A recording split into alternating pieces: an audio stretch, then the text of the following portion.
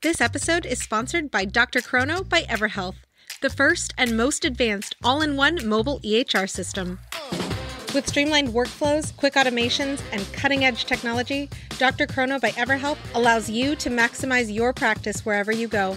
To learn more about why so many other primary care practices love Dr. Chrono and to start your free trial, visit drchrono.com forward slash free trial. That's D R C H R O N O dot com forward slash free trial.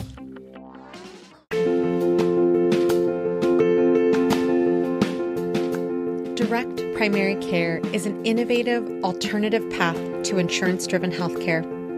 Typically, a patient pays their doctor a low monthly membership and, in return, builds a lasting relationship with their doctor and has their doctor available at their fingertips. Welcome to the My DPC Story podcast, where each week you will hear the ever so relatable stories shared by physicians who have chosen to practice medicine in their individual communities through the direct primary care model. I'm your host, Maryal Concepcion, family physician, DPC owner, and former fee for service doctor. I hope you enjoy today's episode and come away feeling inspired about the future of patient care, direct primary care. My opinion is that wellness occurs between a family and their doctor, not a third party. Direct primary care is what medicine is meant to be. It has fully restored my passion for my job it has also given me the freedom to live my life in a way that I've never had before. I'm Dr. Daniel Dvoskin of Jolly Giant Pediatrics in Taylor, Texas, and this is my DPC story.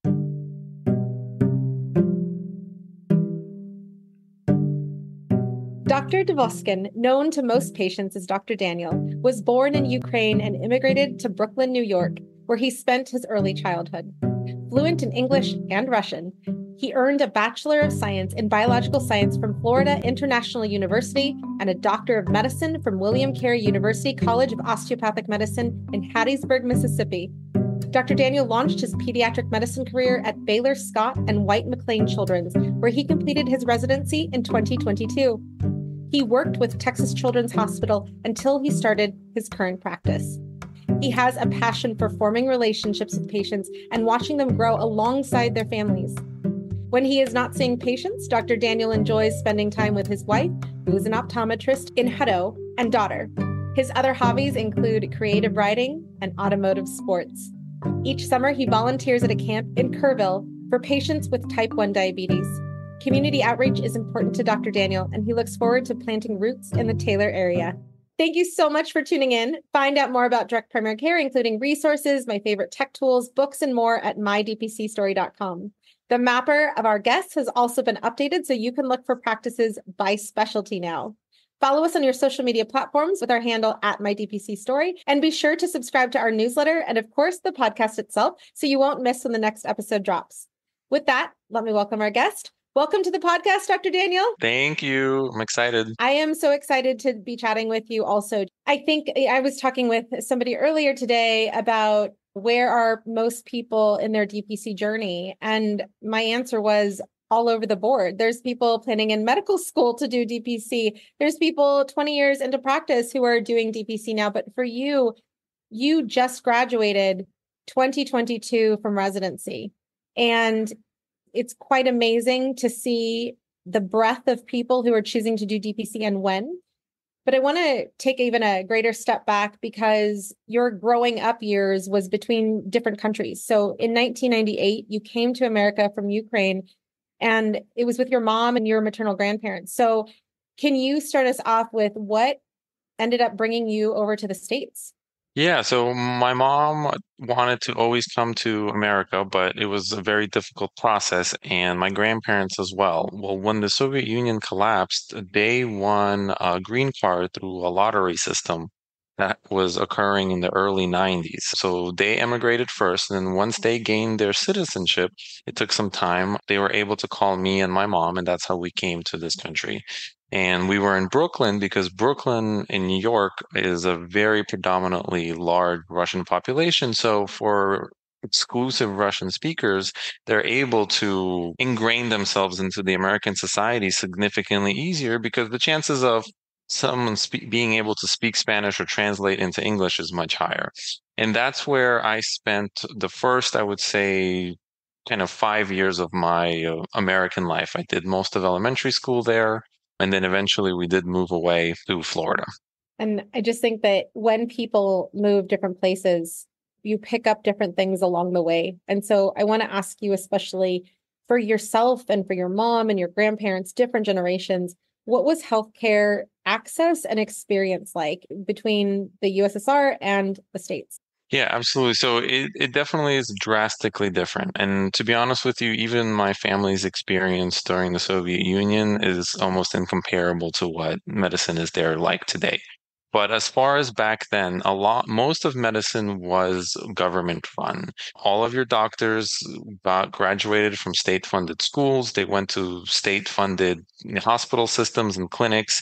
You almost didn't even really get a chance to choose where you went as a medical professional. You were told, this small town and you know close to siberia needs a doctor and this is where you're going and you had no opinions or choices. So the care that you received was very stratified and specialists were non-existent. So if you did have something complicated you had to go either into like a big city like kiev or moscow to go see a specialist. And i mean if you even got in it would be impossible. And to be honest with you, unfortunately, there's a lot of just under the table corruption. So sometimes you wouldn't even get in unless you were able to pay that extra fee to get in and get seen on time. So it was seldom and hard to get. And then when my family moved to America, honestly, the biggest trouble is actually understanding that medicine actually functions here. You can get medical care that was the biggest difference. And insurance was also a very big concept that people didn't understand, and my family especially, and how it worked and what's a deductible, what's a copay. What do you mean I'm paying them every month for something that I don't use? Very difficult, very hard to swallow. But eventually we were able to learn all the logistics and figure things out. And we got significantly better care. Just to give you an example, my both of my grandparents are in their late 80s right now and they are thriving and living in Miami and going to the beach all the time. My grandpa, who's 89, is still driving, you know, not far, but he still could go to the grocery store. While his equivalents that stayed there, they have all passed at this point.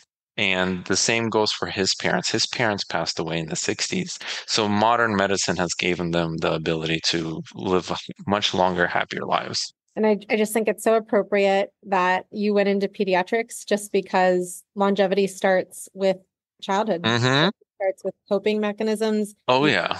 Exercising. So I think it's very cool that you see really making an investment in the young generations is going to lead to people like your grandpa driving around at 89 to the grocery store. It's awesome. Yeah. Love that. So tell us about your experience in Florida because I'm so excited to ask you about Mississippi. One of my best friends in medical school is from Clinton, Mississippi, which is next nice. to Hattiesburg. And so when I read that, I was like, amazing. But can't forget Florida because again, wherever we go, we pick things up along the way. So how was your journey in medicine while you were in Florida?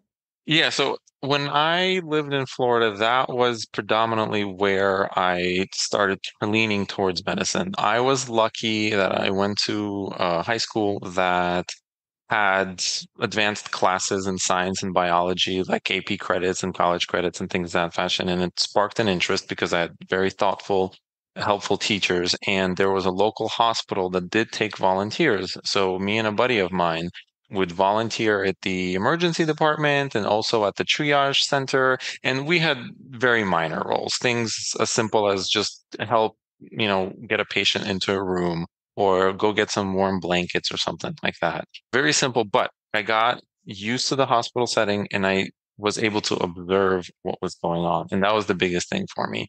And it really opened up my eyes. And to be honest with you, when I actually first was got the idea of medicine, for me, I put science as the most paramount goal in my early career. So I was really focusing on oncology. It's only later in uh, the Mississippi adventure that I'll share with you that I changed my mind and I was like, okay, I think pediatrics is the right fit for me. But I got exposed early and I definitely got all of the help in college because that's also where I went uh, to college in Florida and all of the my teachers and core classes and advanced classes they really opened up my eyes into medicine and solidified the fact If anything, I tried to go out of my way to dissuade myself from going into medicine and failed. It's it's so funny to hear that because you know there's people who are in DPC who have kids and they're like I would never tell my kids to go into medicine and then other people are like absolutely I would push my kids into medicine and it's like no matter what we do our parents saying what to do is one thing but then when I hear you saying that you were trying to convince yourself of something else and different career I, I laugh because it speaks to also what you're called to do. So tell us about your internal conversation and what happened in Mississippi yeah, absolutely. So when I went to Mississippi, or actually, if we take one step back, when I was applying to medical schools, my goal was I need to get out of Florida because I've got ingrained with one specific culture, one specific patient population. And I'm not going to lie, Miami does have a relatively healthier overall group of people, especially with how many young people there are.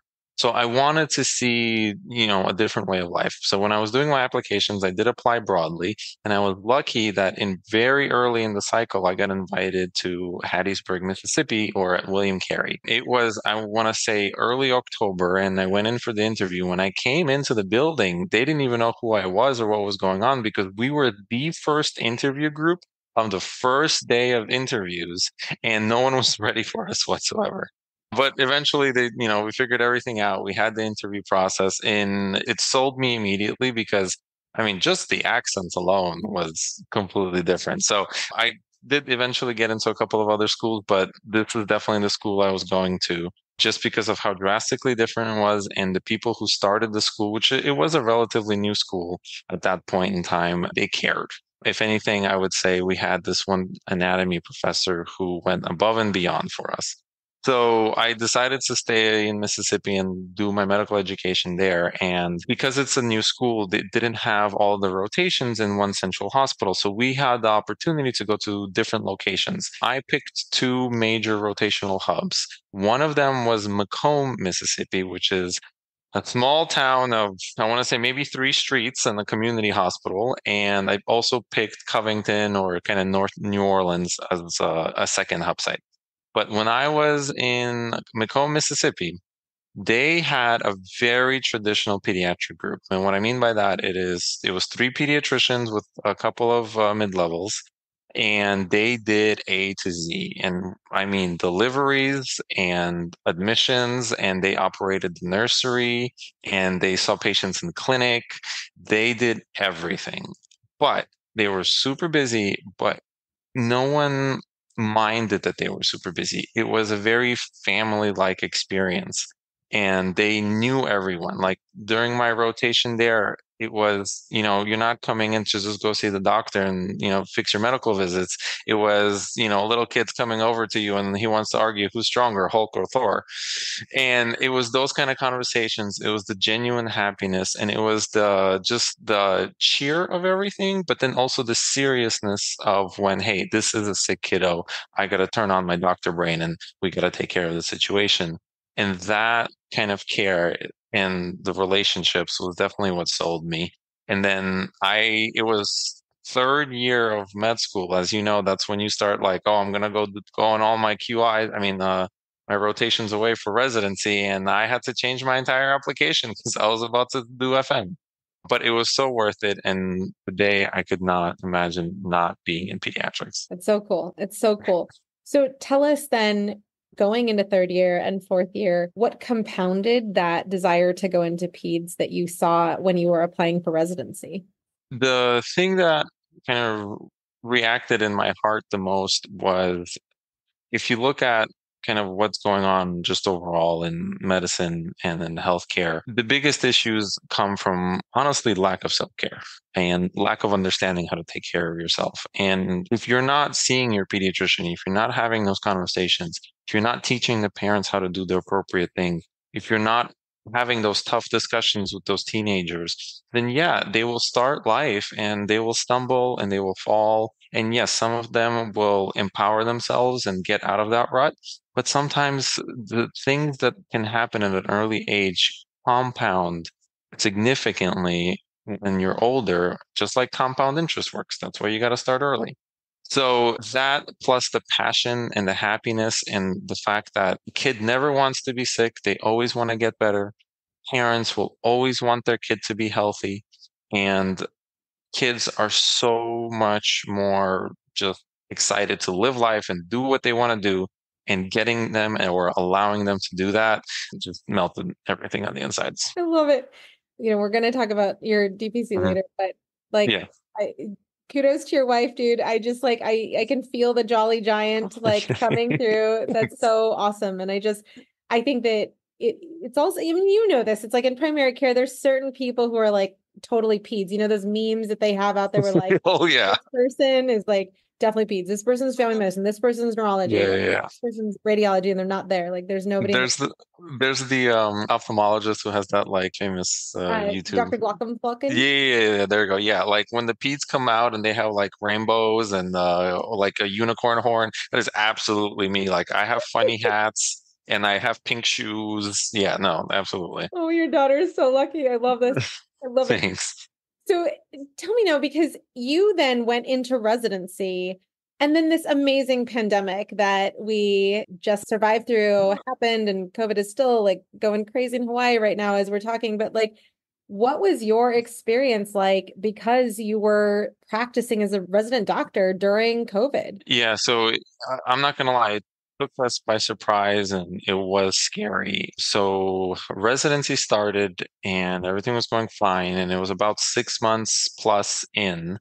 And we started hearing like little kindlings of what was happening in Italy, because that's kind of when I caught on to it. And I even specifically remember having this conversation. I called my mom and I'm like, Mom, this is what's happening in Italy is going to happen here, except it's going to be even worse because our population is so much larger. And she was like, No, you don't know what you're talking about. Well, it happened. But honestly, residency changed drastically. We lost a lot of our clinic rotations and specialty rotations. We did not have PPE. I mean, did I run into multiple code rooms without appropriate PPE? Absolutely. Did we built makeshift walls for isolation units? We didn't, even if we were trying to make up appropriate protocols, I mean, they were hard to follow, to be honest. And then no one knew what was going on. We were all relying on the Seattle data and the Boston data, but the Seattle data came in first and we were trying to figure everything out. And then the whole MIS-C thing really threw us for a curveball because the smartest person in my residency, in my opinion, was our infectious disease doctor. And he was like, I don't know. I have no idea and that was scary. We actually we had we did have a few expecting mom residents, and we sent them home. We were like, just go home. We don't know what the risks are. So yeah, it was a scary, dark time. I'm so happy that we have the information that we have now, but it all completely altered how residency was and the experiences and the amount of fatigue. Stay with us. We'll be right back. Have you tried an AI scribe in your clinic? Well, I've tried so many, and I can say Heidi Health is the best AI scribe I have come across thus far. With Heidi Health, I can create unlimited customizable templates for my notes to help me truly cut down on the time I'm spending charting. Template for pediatric well child check? Done. Template for weight loss management? Done. Some of my favorite things I've built into my AI template, beyond the general soap note, are having a list of actionables for our team to take after a patient visit, having the diagnoses listed, and creating an after visit summary for our patients. Not only have I found Heidi Health to be the most helpful, customizable AI scribe so far, it's also more affordable than most out there. So try Heidi Health today and see how you can harness the power of an AI scribe for your practice. To get an entire month of Heidi Pro free, go to the homepage of mydpcstory.com and click on the Heidi Health ad. And that's that's a huge thing that I really pick up just from your timeline of history, just because by December 23, you were donezo with fee for service. You know, I, I was reading on, I think it was LinkedIn today, where somebody uh-huh. was quoting this, you know, like I will totally say fake news study where they were saying like, oh, in pediatrics, burnout is less than 50%. And it's for the first time it's been like that in so many years. I'm like, and is that why there's less residents? yeah, is that why there's less people applying to pediatric residencies and it didn't fill if you're out there listening and you're like, oh no, that is true, like please leave a voicemail on the podcast voicemail. I'd love to hear that opinion because I'm totally with you in that. Are you kidding me? Who is not burned out in fee for service? Even people who stay in fee for service, it's not like they're celebrating all the time, like, oh, I have autonomy and I have the ability to do things like whatever, you know, fill in the blank that they want to. So tell us about I don't know if there is a, a way to separate or if the COVID pandemic amplified, but like what was happening in your residency where you were like, within a year, I am done with fee for service? Honestly, for me was I learned accidentally that DPC existed in med school. I ran across a book that just described a family medicine practitioner and how he went about his life. And I was like, what is this? So I like flipped through the entire book in like three days and it just sat there right? Because i'm like i have boards to take a residency to get into survive residency but it was sitting there. And what i butted heads with the most on especially inpatient services is that the patient's here for a problem and it's an acute problem and yes we're going to fix it but what's stopping them from coming back and the amount of repeat customers, which I'm sorry to say it, but that's what it ended up being, was significant. And then when you start analyzing why, it's because primary care isn't happening. That frustrated me. And when I wanted to do more because I wanted to keep them out of the hospital, it's not a fun time being in a hospital, even as much as we try to make it with child life and games and just, you know, being fun, it's still not a fun time. You want to go back to your normal life and I just couldn't. Like I just hit a stone wall because I have notes to do, orders to make, 15, you know, other patients to see in that two hour time window. And it was impossible. And it the same thing happened when I was in my uh, continuity clinic is I would love to sit and have more discussion about how we're going to treat your depression or manage your ADHD or hey this is a one month checkup and you have a million questions but you don't even know if you how to ask them so having those the time to have that conversation, it wasn't there. And I understand that's the way the system is built, but doesn't mean I have to participate. Totally. It's ironic. This is very, it's a PEDS conversation. So I'm going to say it. But man, this is the summer that Inside Out 2 came out. And I just, I had to rewatch Inside Out 1 yeah. because the kids are little, but it was like, I can picture the islands just becoming gray and dying as you're like yeah. Your, Absolutely. Your unicorn self is like, this is crap, man. So yeah. I think it is awesome that you went DPC because you can see the happiness if you're watching the YouTube, like you can see the light coming through rather than the like the dull, yeah. like, I can't be doing this for 30 years. So yeah. let me ask you there then, yeah. because I did not know that you had learned about in med school.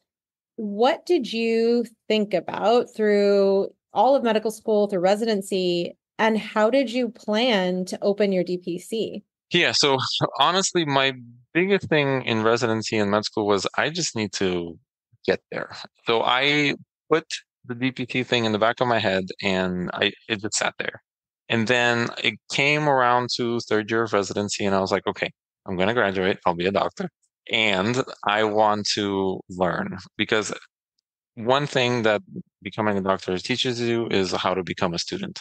So that was my main objective. I want to learn as much as I can about how I can do this in a non academic or non major corporation hospital system. So I found a group that was a private practice group, but traditional fee for service group here in the kind of Austin area. And I was like, perfect. I'm just going to apply, see what happens. It turned out that they offered me a position and I accepted that position. The unfortunate part is what I did not learn is that in a very short period of time, Texas Children's Hospital or Texas Children's Pediatrics bought them out. And uh, my contract was sold to them, and they did give me the opportunity to come on board or leave if I wanted to. At that point in time, I was three or four months out of residency. I was like, I need a paycheck. I have a you know wife and a kid on the way. We need to work. But in my head, I was like, where's that box? I'm going to go fetch that box. It's time to open it. And while I was working at my other job, I was like, okay, how can I make this happen with no backing, with, to be honest with you, not a lot of savings. You know, my wife thankfully has been an optometrist longer and eh, in her career and a little ahead of time. But I mean, I'm starting out from nothing. Like I have no savings. So I was just like, how do I make this work? And then where do I make this work? And that's when the plan started hatching out. And it took me about a year because our daughter was born during that same process. I decided to buy a house, have my first child, get married, and start a business all within like 13, 12 months. Eh, not the smartest person in the world. But I was able to do all of those things and it started there. And the biggest kind of like the straw that broke the camel's back for me was I was working under the new regime and I have my wife with our three month old at home and I'm in clinic until 6 p.m. after they've the nurses and MAs have already left. All the lights are off. Why? Because I have a kid here who needs to have a good medical plan and an understanding about what is going on with them. And then I walk them out the door. And it didn't happen once, it didn't happen twice. It was a regular occurrence. I was the one who was coming in at seven o'clock to the office instead of eight because I needed to answer those inbox messages because I had a very large mental health population that they need that care. They can't do the, oh, I'll get back to that inbox message in three days. And I found myself sacrificing my family, sacrificing my personal health just so I could provide the care that I knew I needed to provide. And I wasn't willing to become subpar in my own standards. I'm sure there are people who are just pausing, shaking their head, totally empathizing with that because it is real. When you look at how come everybody else gets to go home because they know they're like, I'm not getting paid overtime for this. And they go home and then the doctors yeah. are frequently there where it's like our jobs are not eight to five. That's just yeah. and health does not happen eight to five. Yeah. Oh. And medicine doesn't happen in 15 minutes. Like that's not how it works. Not at all. And especially when you're dealing with mental health, eh, it's, you know, eh, already yeah. we know that in this country, mental health, quality mental health access is challenging no matter where you are. So let me ask you there because you are the go big or go home on many levels, but it's like house, kid, why not? Just throw in another business. Come on, let's do it. Yeah. it reminds me of uh, Dr. Natalie Gentile. She's like, her husband asked her not to start another business like in one year. It was, it was so funny. So let me ask you there when you were with all of these things, how did you then balance your time so that you could be present as a doctor, proud as a doctor, but also present and proud as a dad and as a budding entrepreneur? I'll be honest, I have no idea. to this day, my family, including my wife, is like, you're doing too much. One thing that helped me, I guess, is time management, right? So I started this in med school is everything goes on a calendar and I pretty much track the hours that are that's going on and I have a task list. And that's literally the only way. Like I just, I need to do this. So there's a want and a need. And I'm really good at differentiating that. And there's like, I need to do this. And how do I make it happen? If there's hours in the day where I'm awake, I'm not going to do the Netflix and hang out. I'm going to do, if I come from work and my daughter's awake, I'm spending two hours with her and then I'm going to go into the garage and I'm going to do what I need to do until it's 1030 and I just drop dead to sleep and they wake up at 4.30 i feed her and then go about my day. Like if there's hours where you're doing something you can do it. Is it exhausting? Do i recommend it? Absolutely not. Did i take way too much on? Yes. I just didn't see another way. I couldn't keep functioning in the old way and be happy and fulfilled and feel that my 11 years of training and sacrifice were worth it I mean, I just think about how after your family was so lucky enough to win the lottery, like it's not easy emulating into a new society of any kind, but you do it. I mean, like I come from a family of immigrants also, and my dad didn't speak English. He thought that snow was some weird white stuff and was surprised when he motorbiked without any covering over his ears to Canada and his ears were curled in. It is not easy, but yeah you people do hard things. And i think especially with you know this idea of resilience we're resilient in general just because we're doctors. It is not easy to go to medical school. It is not easy to be a resident. And yet we are and yet we complete those things and then we go on. So i think that there's a lot of parts of our medical training in addition to whatever background we come from that really helps us focus in and achieve what we want to because we know we can't do the other thing. So for you, your Mm-hmm. practice, and again, I spilled the beans too early, but tell us about Jolly Giant Pediatrics because I love the name. I Mm-hmm. love your website. It just screams pediatrics and it screams bright with the with the blue background and the the toys there. So tell us about how you picked your clinic name and how you even chose to practice in Taylor. Yeah, absolutely. So the clinic name was actually a little bit of a struggle, Buzz. I'm not going to lie. Me and my wife, we used to go on walks, especially when she was in her third trimester, just to like get some of the fluid off our legs. And while we walked, we used to think about clinic names and baby names. So that was kind of the theme of the conversation.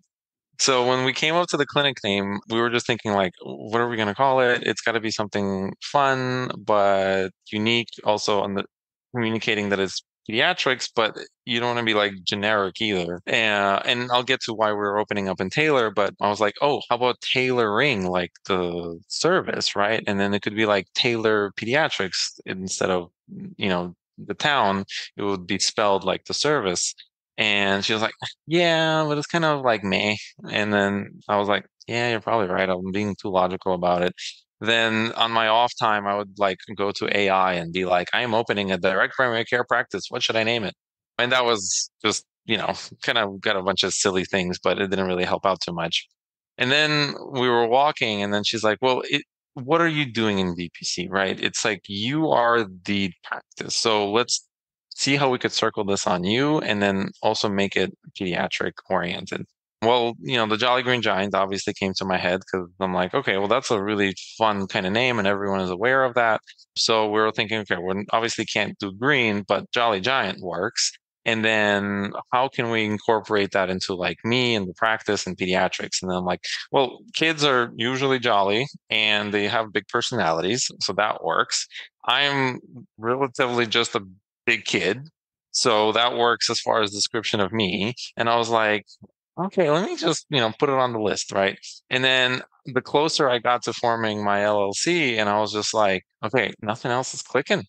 It's just, you know, let me go get a graphics designer and like get a little bit of a design going. And then I was like, once we saw it in person, it locked it in. And I was like, yeah, this is going to be it. This is going to be great.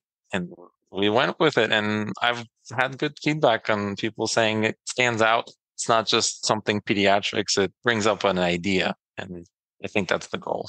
For those people who are watching the YouTube video, like we look like the same height, and I'll take any inches I can get. But like when you look at a picture of you and your wife, there's definitely a difference there. So, how tall are you, and how tall is your wife? So if people see those pictures, they can get the. Uh, yeah. So my wife's five four, standard white American, and I'm six six. So definitely the name is super appropriate. I love that the audience can hear the, the workings, how you got to this place of your name, because I think that's where, you know, you have things like Thrive is trademarked by Kaiser. You have Ascension, you have all these things, but when you're your own boss, when it's a practice that represents the doctor you are and the doctor that you're bringing to the community, I think it's amazing that we see such personalization out there. We see people pulling from different parts of their life to create the story with their name or whatever calls them. So I think it's it's amazing. So now about Taylor, because you were doing residency and whatnot in Austin. Austin's about 45 minutes, or Austin proper. Yeah. So I was doing residency in Temple, which is a little bit north of Austin at McLane Children's and Baylor Scott and White. And then I, we moved down to Austin just because that's where I accepted my job. And my wife works in Hutto, which is a little bit east. So I know a whole lot of things, but think of it this way just Austin's in the middle, and my wife was east. And Hutto used to be just middle of nowhere town, and there's another town next to it called Taylor.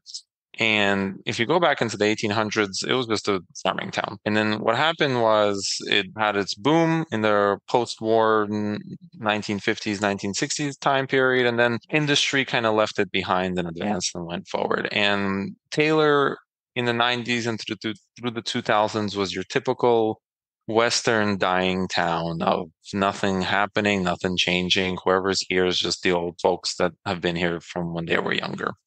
And then there was Samsung.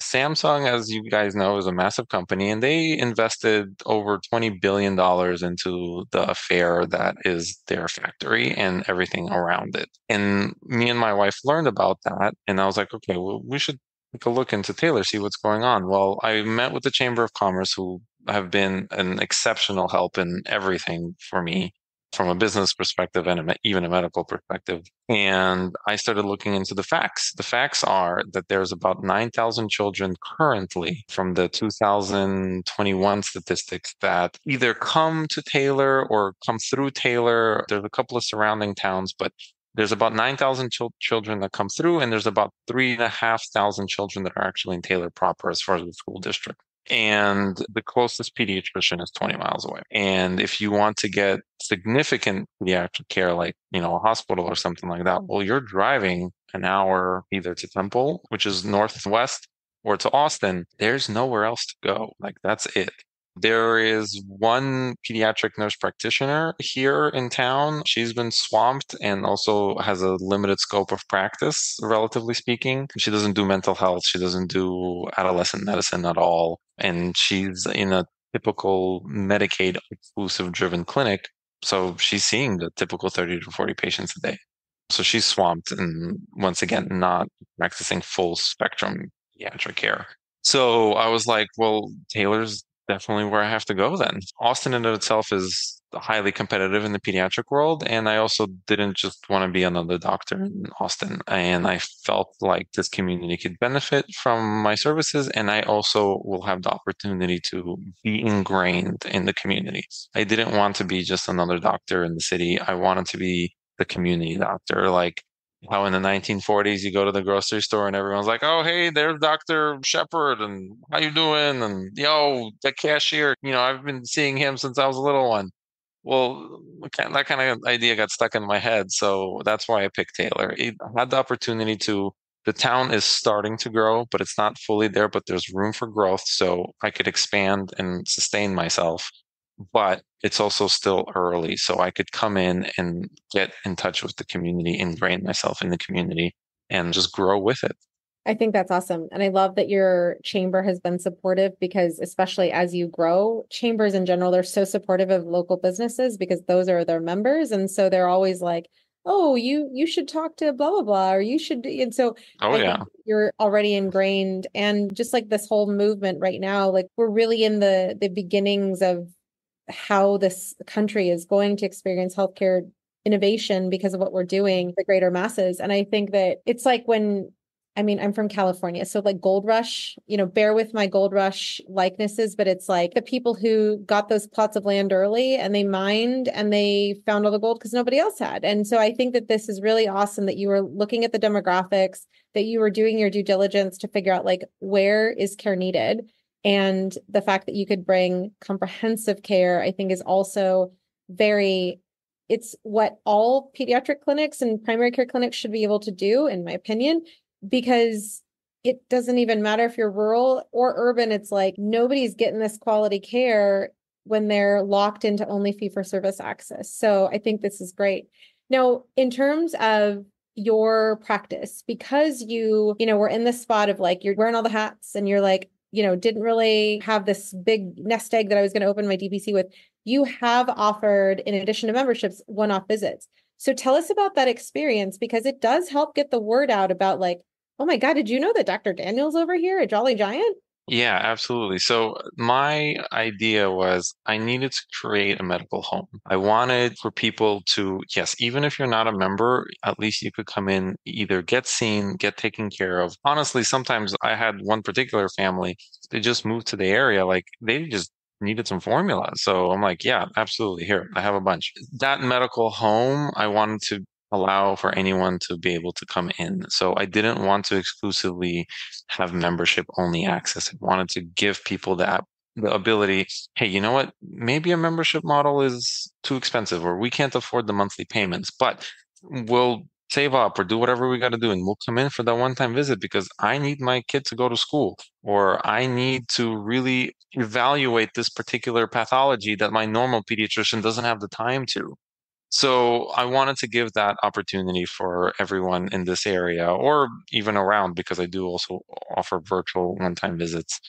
And I feel like it's paid off significantly because, yes, my membership panel is growing slowly and steadily. Obviously, it's summer, so it's like super slow. But the one time visits have been a consistent thing that uh, also have their ebbs and flow, but people always do utilize them. I'll give you an example. Actually, right before we connected, I had a mom just call me. They're from Louisiana because the father's on the project for Samsung and construction, and they're here just for a few months, but they got a sick one year old. Where are they going to go? If they, no matter the insurance that they have out of state, getting care in a different state is going to be impossible. Well, I sent her a text message. She could schedule an appointment by herself on my website, and she's going to know exactly how much it's going to cost because the fees are right there up front, and I'm not going to charge anything extra. There's nothing hidden. You can't get that anywhere else. So I wanted to offer that for everyone so everyone could get care. I think it's great. And again, it's if you've seen one DPC, you've seen one DPC so if that works for your community amen. But i think that it's really important to be able to recognize that you can change your processes at any time. Like we live in a vacation community and people are always calling us about like oh do you offer one-off visits? And we do but we get all the time oh but i need to use my insurance. I'm like fantastic. Down the hill 45 minutes away, ER, where, where do you want to go? That's your choice. Amen. But yeah. I think it's very awesome that even people who are temporarily in places, they recognize like, oh my God, I didn't think about where are we going to get medical care when there's no there's nobody here like even if we have insurance there's no one to see us there's no one to take it so it's interesting again going into market research how to find your spot now i want to ask more about you getting involved in the community because you've definitely taken on roles as you've opened your DPC? One, I'm guessing because you have time, and two, because I'm sure yes. that you love to do it. And like you said, be part of the community. So tell us about your community involvement beyond being a physician in the community. Yeah, absolutely. So I'll be honest with you. This is the part of running your own business or just being a physician in the community that I didn't really expect. And I am loving it. I'll be honest. So I'm a big car guy. So I'm like, okay, I need to do something with cars while I'm trying to get families together. Kids love cars, especially fun, weird ones. So I found the city councilman who's apparently a massive car nut. And then I started learning about Taylor, and apparently Taylor is actually a very big car community. They have yearly car shows and monthly car shows. So me and the councilman got together, and I was like, okay, so you're already hosting these things. Let me like glue on to you and then offer a little pediatric spin to it so we do cocoa during fall and winter, and we do popsicles during uh, kind of spring and summertime. And I invite any kids to come through and families and make it a family friendly event. And then, you know, there's a pediatrician there. So if you have any questions or want to chit chat, you could always can. But for the most part, it just opens the community to like just a public setting for to hang out, do something early on the Saturday or Sunday morning and have a snack, have fun, check out some cool cars, meet some cool people. And that's kind of how it started. And then I started meeting people throughout the community. I met one of the school kind of family care coordinators and you know i met him and then he was telling me like hey you know we got a big vaccine issue we had to kick 40 something kids out of school because they weren't caught up to their vaccines and i'm like well, that's easy. Let's just do a vaccine drive. He's like, we've tried to, we've had these issues. No one's been leading it, and we don't have a medical director. And I'm like, sign me up. Where do I sign? So that all transpired in a relatively quick fashion. But yeah, I signed up to be the Taylor School District medical director because no one else was doing it. And it's not like a paid position or anything, but the school needed it. So I was able to get all of their procedures in order, get them all the medications, and start this vaccine drive. I'm hoping to make this an annual situation, but this is going to be the first year we're doing it and we're doing two, one in July and one in August, but it's just an opportunity. And then the other part is just meeting the local businesses, getting out into the community and also learning about marketing. By learning how to market myself, I exposed myself to so many new people and so many new opportunities. I'll just give you an example. I recently became a board member of a restoration project of a 100 or 104 year old movie theater. It used to be right on the main street, and COVID killed it from a business perspective. And it just sat there derelict, falling apart. This one brave woman uh, decided to buy it and restore it. And she brought the entire community behind her because the movie theater has been here through everything. So there's generations of people who had their first kiss and their first date and stuff there, or their first job. So I joined that board membership just to help the community, just have fun and meet people. Then another part of that was I wrote a children's book. And honestly, the goal of the children's book was mostly for marketing, and I wanted to create a Jolly Giant character because eventually I want the Jolly Giant to be a character and use that as like, oh, like my kids are gonna like hanging out with Jolly Giant Pediatrics, or you know, eventually I do want to make a teddy bear kind of thing. But I wanted to have an image as well. So I wrote a book, and then there's a local bookstore that's a private bookstore, and I'm like, "Hey, you guys want to do some story time?" And they're like, "Oh my god, this would be great!" So I'm doing that, and then I went to the local library when I first got here, and I was just like, "Hey, I see you guys do story time. Do you would you be interested in doing also a lecture series, piggying back from that same population that are coming to story time, which are usually your new moms?" I know they don't have a pediatrician to talk to. I almost guarantee it. So they're like, oh my God, this would be fantastic. Yes, please. So we set that up. Um, I'm actually, after we finish here, I'm going to do a vaccine lecture there. But, you know, we set that up and everything grows slowly. I've only been here for six months, but I've tried to set myself up where I have routine things to give people access to the care that they need. And, you know, they don't even have to be my patient. They could just there's a pediatrician in town we could talk to. And my hope is that I am going to be able to increase the pediatric care in this community. I'm partnering up with like a Texas statewide mental health grant funding for counselors and being able to help some of the kids here from a mental health perspective. I'm trying to get specialists into this area. I just recently got a lactation specialist. Once again, first lactation specialist in the city. I'm also trying to get a um, therapist. And so just trying to grow this area to give this area the care that it needs and doesn't have. I think it's awesome. And I think that it makes me think about because you are a DPC doctor, as you grow, you're going to set your schedule so that you can still do the things that make you happy. You know, it's not like I'm not able to do this anymore because I have to work an eight to five job. Oh, sorry, it's actually eight to eight, and I only get paid for whatever codes I bring in, not even the hours that I'm there. So when you have these things that you know you love. And it's like i love doing this podcast. I've never met you before. And i'm like i love that i get to talk with you. You know it's like you do these things and you're like this brings me joy and you get to do them. And it, that literally helps fend off the burnout the fed up the attitude that you go into to see your patients that they can pick up on. So let's talk about your marketing even beyond the meeting people networking which is super needed and i think very strategic in terms of your growth later on in addition to the teddy bear and the jolly giant figure. But your page like on the banner you say learn about us by following our instagram or you can sign up for membership now. And i thought that was really awesome because there's people usually you'll find like instagram i mean even on our page like at the very bottom but I love that most likely you're going to have people. I mean, we all do, but especially when you're a pediatric practice, families and younger people are going to be especially on social media. So I love that you had that just right there because even if we can't read the page all the way, but we can look at social media because we do that anyways. It's like it's an invitation to see you and meet you, even if they're going to your website or if they're going to social media. So tell us about that whole idea? Where did that come from and how has it worked for you? And do you see people clicking more on the, you know, go to our Instagram versus sign up?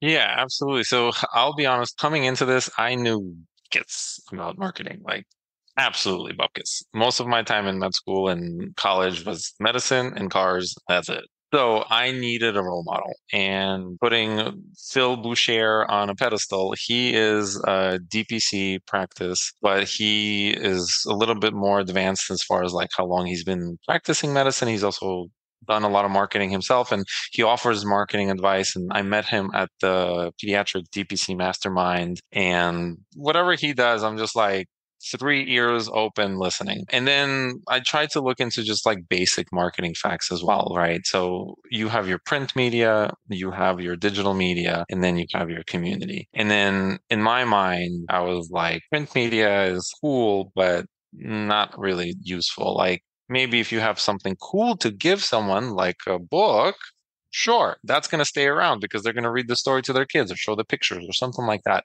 But for the most part, advertising on uh, paper media is just a waste of your time at this point. And everyone I've talked to said the same thing. So then it came to social media. And as far as the social media aspect of things, and, you know, Phil says this as well. Yes, the social media might not be a conversion for you, But what it will do is get your face out there and get people to know you. And as long as you're not sitting out there being too salesy, they might even listen.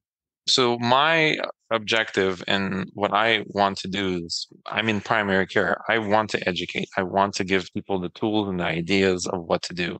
So I thought, well, that's what the Instagram is going to be about. I'm not trying to sell anything. I'm just trying to provide the care that I want and answer the questions that parents potentially have or may not even know they have.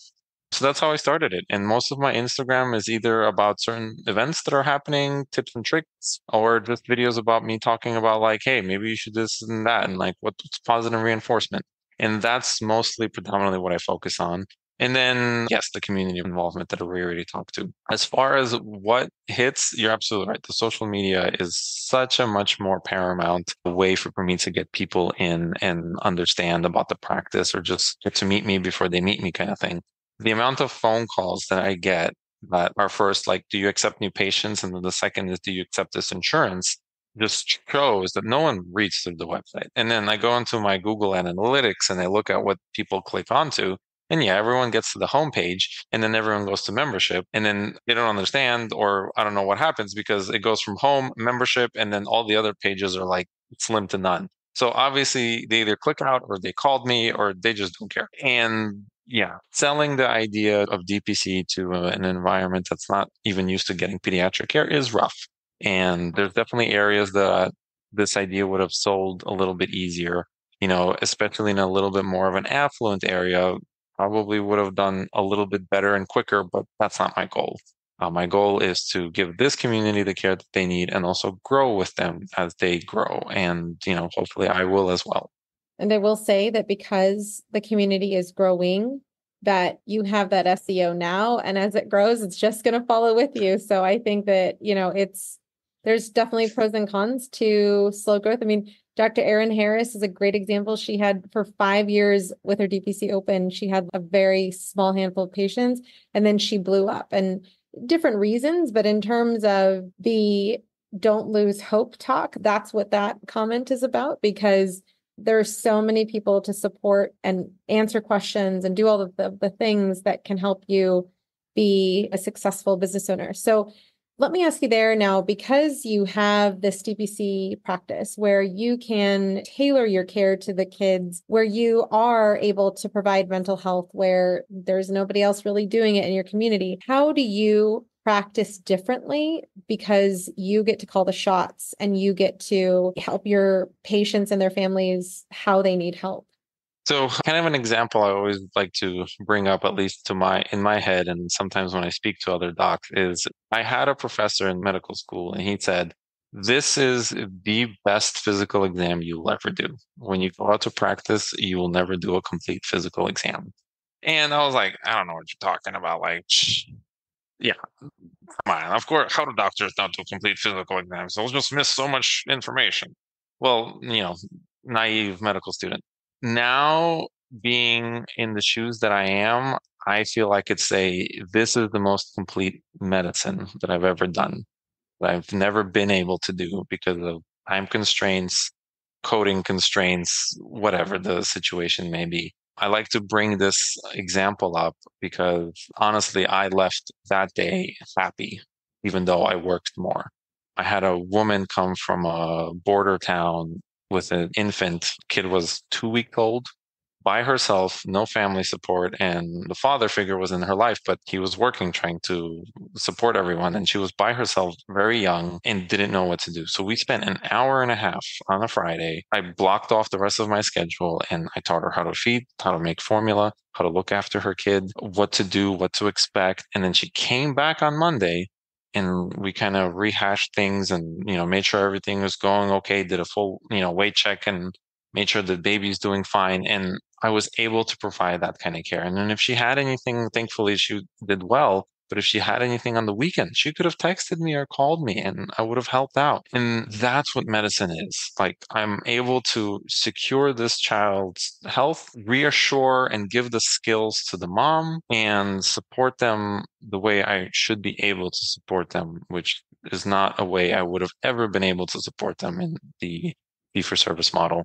So, yeah, absolutely. It's drastically different. I've had another eating disorder patient in a residential facility and we were having issues. So, I was able to spend an hour with mom and the medical director on like a Zoom call and we were just able to hash everything out, have a discharge plan, figure out how what we're going to do in residential. I would have never been able to dedicate such time in my fee for service clinic. Even if I sacrificed my lunch, which I ended up doing anyway, I still would not have had an hour to sit down and do those kind of things. And I was able to secure that patient's discharge and have an easy outgoing situation, especially with a teenager and eating disorder. It's always a touch and go situation in those kind of settings.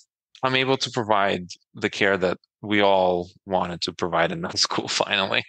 Absolutely. And it's interesting to hear people who have been in practice for years. They very commonly will say, like, oh, yeah, that's great, but like, you know, some excuse. And I'm like, that's exactly what we all went to medical school for. We didn't go to medical school to be coders, billers, scribes, etc. Literally, we went to doctor school to be able to think and to have time with our patients in order to figure things out. Like you're talking about the teenage population in general, but then you have the teenage population and you throw mental health and you throw eating disorders on top of it. There's not going to be successful addressing, solution, all the things in one visit every six to 12 months that is 16 minutes long. It's just not going to happen. So I think that this is exactly why DPC is fulfilling because we're able to do the comprehensive care. We're able to say, hey, okay, let's take a second look at things. I get that you're having more questions or your status changed or whatever. We don't have to wait six months to get you in. So I think that's great that you're seeing that in your practice. Now, tell us about the future of Jolly Giant Pediatrics. You dropped a little, some hints already in terms of where you see yourself going in the future. But in terms of the addition of the pediatric therapist, the lactation specialist, what do you see happening in the next three to five years for Jolly Giant Pediatrics in terms of who you're seeing, the patients that you're able to take care of who are not necessarily members, and how you're involved in your community? Yeah, so I'll be honest, five years is very hard for me to think about. There's a lot of things that change in five years. I could maybe give you my three year plan. Uh, the objective really right now is, mind you, this is new, right? I don't, and as you said, UC1 DPC, UC1 DPC. I don't know what my potential limits will be, right? I don't know when I will come to a point where, like, let's just say I have 200 or 300 or maybe even 150 members and I'm doing walk-ins and I'm like, when am I capped out? I just don't know. So my goal is to first find that goal. Once I'm there, that's when I'm going to try to find first another like-minded individual to come here and expand the practice, grow, see more patients, take care of the community. While I'm getting to that goal, I also want to be that medical hub. And this might be a 10 year plan down the line, but I would love to have a building just like this one, maybe have a little bit more rooms and you know what? Yeah, you're going to be able to come into the same building and see your pediatrician, go get physical therapy, have your counselor, and then, you know, maybe speech. And yeah, we'll all be sharing relative space. So parents don't have to go to wherever they have to go and drive for long distances and they can get all of their care under one roof. And you know what? Even if it's not under Jolly Giant Pediatrics, even if it's a different business, it's under one roof. And if there's a collaboration situation, they're just going to walk across the hall or shoot me a text message. I'm not going to have to wait for referral notes from some service or wait two months until someone gets seen because I could walk across the office and be like, Hey, Vanessa, like, I really need you to see this mom. She's really having trouble with her lactation. Can you squeeze her in? That kind of collaboration that we get spoiled in in academic medicine, I'm, I'm missing it. I'll be honest. So it would be beautiful to have that kind of collaboration and those kind of people within a short distance. And then the other part is as far as community involvement, I just I want to be the town doc in the sense, in the old fashioned sense. So I want the school to be able to rely on me to maybe set up educational seminars, maybe do you know, go to the biology classes and the chemistry classes and talk about medicine and inspire people. I just want to be the resource for everyone to utilize my skill set and my passion and, you know, give that to the next generation so they could be happy. And just to give you an example, one thing that did happen is the kids had uh, reach out to a professional and just figure out some stuff and ask them some questions. And I had a student shoot me an email and I invited them over to come and see the clinic. And we talked about medicine and pediatrics. And, you know, this was an 11th grader just kind of figuring out what they wanted to do in life. But I was able to give that experience to a student that otherwise probably would have never been able to do that because there is nothing around where they live. So that's kind of the goal. How I get there, I have no idea. Figure it out as we get there. And I think that's so real. And that's exactly how it needs to be, right? Because you are adjusting to being in your community. And I think that even as much as you plan out, things happen, like life happens and you have to be able to pivot. But I think that if you are working towards a goal, you can figure out different ways to get to that goal rather than being very rigid and like, this is the only way it can be done. So I think that it is amazing what you've brought to the table. And I will say, I'm sure that for the, you know, parents bringing the strollers in to be able to now and in the future go to one location without having to unload, reload, unload, reload, and like drop things and cell phones along the way as you're doing it. As parents, you know, you're shaking your head because you know that that's like, that's real. Oh my God. But it's amazing what you are doing. And it is amazing what future change you're going to cause in your community because of your presence.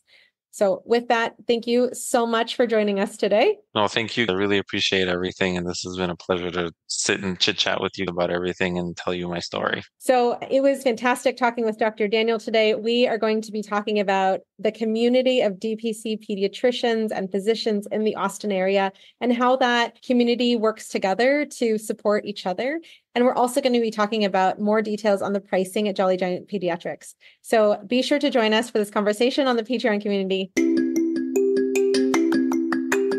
Thank you for joining us for another episode of My DPC Story, highlighting the physician experience in the world of direct primary care. I hope you found today's conversation insightful and inspiring. If you want to dive deeper into the direct primary care movement, consider joining our My DPC Story Patreon community. Here, you'll have access to exclusive content, including more interview topics and much more. Don't forget to subscribe to My DPC Story on your podcast feed and follow us on social media as well. If you're able, I'd greatly appreciate if you could leave us a review. It helps others to find the podcast. Until next time, stay informed, stay healthy, and keep advocating for DPC. Read more about DPC news on the daily at dpcnews.com. Until next week, this is Maryal Concepcion.